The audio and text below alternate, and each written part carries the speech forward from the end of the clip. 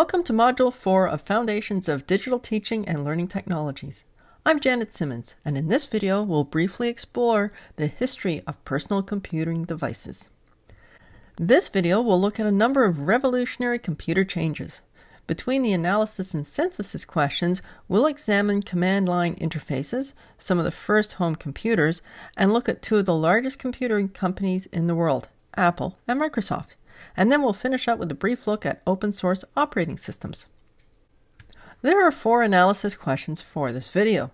You will need to watch the support videos to adequately answer these questions. These questions are also asked to help you focus on key areas of the video. In a previous module, we found that interactions between humans and mainframe computers were primarily through punch cards and paper tape. When terminals were introduced, it then became possible to send commands to the memory cache prior to processing, so that programs could be entered and run directly from the keyboard. With the introduction of Microsoft Disk Operating System, or DOS for short, the command line interface became the standard method of sending commands into the processing unit. The command interface, or CLI, required the user to be familiar with numerous commands Consequently, many people found computers with the CLI too difficult to operate and limited in terms of overall functionality. In 1973, the first personal computer, the Xerox Alto, was created and approximately 2,000 were produced. It's seen here on your left. It had a mouse driven semi graphic user interface which required commands to be entered from time to time. The computer consisted of a black and white cathode ray tube or CRT display, a detachable keyboard, a three button mouse, and a 2.5 megabyte hard drive housed in a processing unit the size of a small refrigerator. Alto's programming also allowed for WYSIWYG, which is an acronym for What You See is What You Get. This is the first computer to allow users to see on the computer screen what a document will look like when it's printed. Prior to the Alto, users had to insert code tags for layout and text. For example, codes were used to indent, set margins, and create bold and italicized font. Early computers, such as the Altair 8000 and the Heathkit H8, were developed primarily in kit format. These kits were ordered through the mail, and individuals with an interest in dabbling in electronics would use them. These machines were built around central processing units and transistors. The 1980s saw the evolution of home computing. Markets for computers developed as they became more capable and as their usefulness at accomplishing tasks increased. Retail stores, which sold a variety of computers, began to appear. Among the first personal computers to appear were the Atari systems and a variety of machines from the Amiga to Commodore, which included the VIC 20 and the Commodore 64. The Commodore VIC-20 was my first computer. The CPU was inside the plastic box that holds the keyboard, and it was hooked up to my TV, which was a floor console model. Data was saved on cassette tapes. You could buy game cartridges that fit into a slot in the back of the keyboard, but these were expensive, so I bought computer magazines such as Compute Gazette and typed in the code for all the games I played. I later upgraded to a Commodore 128, where I used my first word processing program called Paperclip and saved data on 5.5 inch floppy disks. There were severe restrictions on what I could do. This held a limited amount of data and I had to swap out often. Paperclip also had its limits. I remember working on a document and suddenly it wouldn't let me type anymore. Apparently, I had reached the character limit. The first Apple computer was made available in 1976. Similar to the Altair 8000, it required the user to assemble it. The user had to build a case such as this wooden one. It also needed power supply transformer, a power switch, keyboard, and video display or monitor. Headquarters for the Apple Computing Company was in Steve Jobs' parents' garage.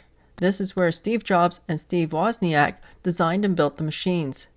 The Apple II computer, released in 1977, was mass produced using plastic housing that had a removable lid, and this allowed access to the motherboard and a series of slots which supported the addition of daughter boards. These provided peripheral devices functionality. This setup allowed for manipulation of the daughter boards to provide support for a number of different proprietary functions. In 1984, Apple released its first Macintosh computer. Apple computers came with their own proprietary version of an operating system, which over time developed into the highly innovative OS. The first models sold between $1,995 and $2,495, which, when calculated for inflation, is over $5,000 today. The Mac was revolutionary because it had a graphic interface as opposed to textual commands on the desktop. The tiny memory was a hindrance to many users. It had a 128 kilobyte hard drive, which was tiny compared to the 400 kilobyte at 3.5 inch disk could hold. However, Mac soon became a favorite of desktop publishers as software companies, such as Adobe, began creating design software that worked very well with graphical interfaces.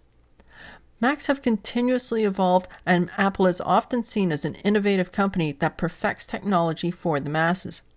For example, this includes Retina displays and touchscreens.